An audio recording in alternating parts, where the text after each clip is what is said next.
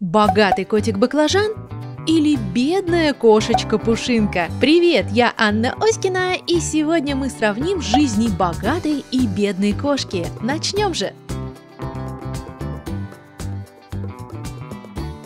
Баклажан нежится на шикарной королевской лежанке с золотыми вензелями. Ну а Пушинка нашла пустую коробку. Не так уж плохо для кошки. Чтобы сделать лежанку баклажана, мне понадобится три цвета полимерной глины Фима. Из розового с блестками я формирую основные элементы лежанки. Вырезаю пуфик и спинку и катаю две колбаски-подлокотники. На пуфике при помощи линейки и иголочки делаю небольшие засечки. Это будет прошивка. Рисую полоски с расстоянием в 1 см под углом сначала в одну сторону, а затем в другую сторону. Таким образом получается вот такое прошитое стеганое полотно. Так я прошиваю пуфик и спинку лежанки. Из тонко раскатанного ярко-розового цвета отрезаю две полоски толщиной примерно 5 мм и располагаю их внизу по контуру пуфика и сверху по контуру спинки. Вырезаю два маленьких кружка формочкой и ставлю их спереди подлокотников. Моделирующим инструментом продавливаю углубление на пересечении прошивки. Также это можно сделать спицей или инструментом с шариком на конце. От колбаски розового цвета нарезаю много маленьких кусочков, катаю в шарики и каждый шарик кладу в каждое углубление. Делаю это на пуфике и на спинке.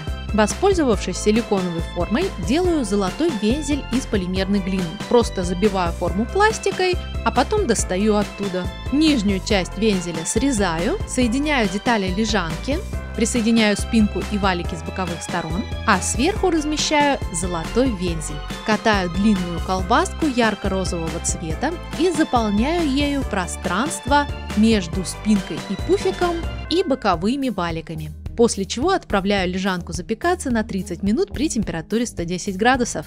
Чтобы сделать коробку для пушинки, рисую сетку на серой бумаге. Размер ячеек 3 на 5 сантиметров. И только края, которые будут отгибаться в разные стороны, можно сделать поменьше. Я сделала 2,5 сантиметра.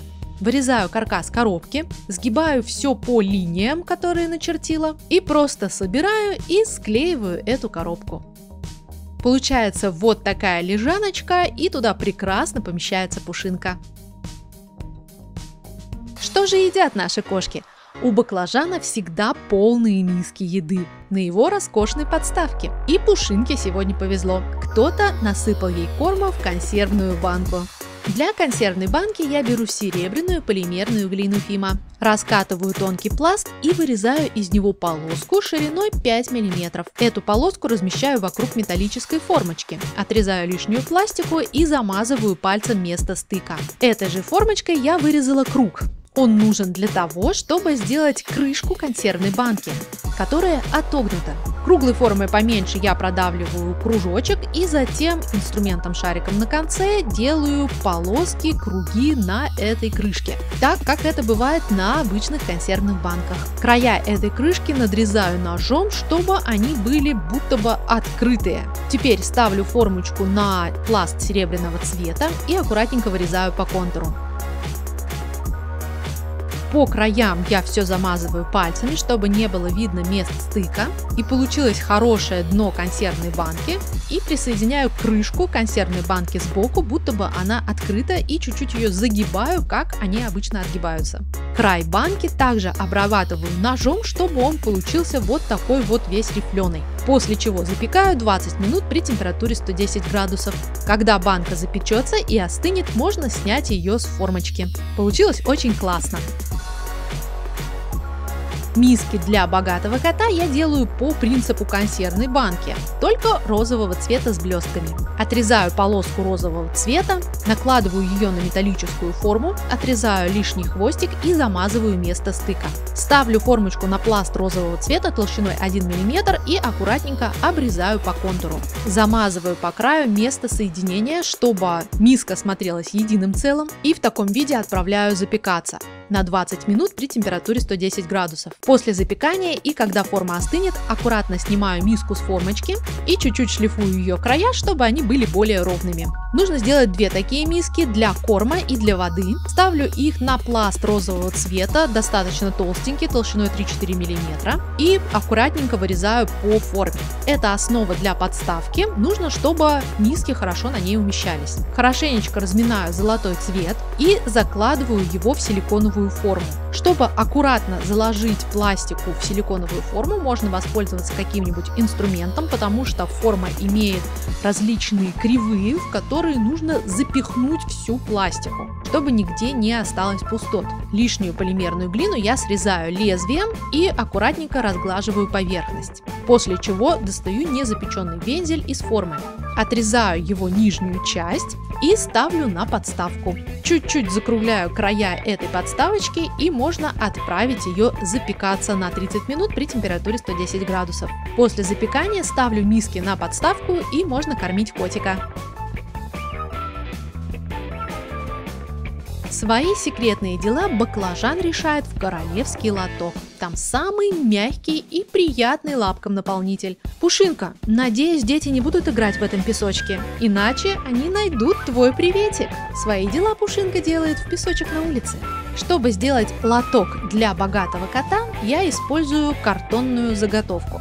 Накладываю ее на пласт ярко-розового цвета толщиной примерно 2 мм и аккуратненько вырезаю по контуру. Получается нижняя часть лотка. Чтобы сделать бортики, я раскатываю пласт толщиной примерно 1 мм, очень-очень длинный, и по линейке отрезаю полоску высотой примерно 1 см. Эту полоску я накладываю вокруг картонной заготовки и аккуратно замазываю место стыка, после чего эту коробку отправляю запекаться.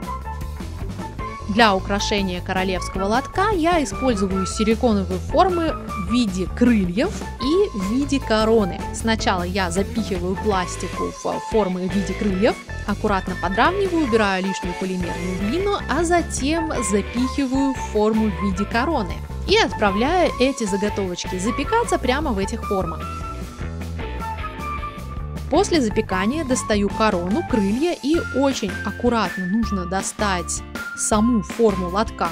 К картону очень часто полимерная глина прилипает, поэтому я засовываю спицу между картоном и самой формой и провожу ее по всей поверхности, по контуру лотка, чтобы отсоединить ее, после чего форма хорошо снимется легко.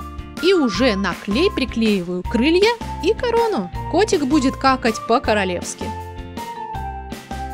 Наполнитель делаю из шерстяных ниток. Я просто отрезаю ниточку, складываю ее в несколько частей и нарезаю очень-очень мелко, чтобы получился мягкий, пушистый и мелкий наполнитель. Вот такой вот милый и комфортный лоточек получается. По-моему, котик очень доволен. Баклажан живет в роскошной квартирке, в полном комфорте. Ну а Пушинке остается ютиться около забора, хотя он хорошо защищает от ветра. Забор я делаю из деревянных шпателей. Беру деревянные шпатели, отмечаю ровно серединку и нарезаю их пополам. Раскладываю их в ряд и приклеиваю два шпателя сверху и снизу этих рядов. Чтобы забор стоял, нужно сделать две стоечки с обратной стороны, приклеиваю их на клей, жду когда высохнет и можно ставить заборчик. Итак, теперь вы знаете, как живет богатый котик баклажан и бедная кошечка Пушинка. Какой котик вам понравился больше? Мне кажется, что они оба милашки и оба заслуживают хорошей жизни. Пушинка тоже нашла свой дом, ее ждут тепло, уют и любящий человек. Пусть все котики на земле будут счастливы. Жизнь котиков на улице очень сложная, поэтому пусть все котики живут как кот-баклажан. Ну а я желаю вам всем творческих успехов, вдохновения и самого классного настроения. До новой встречи в моих новых видео.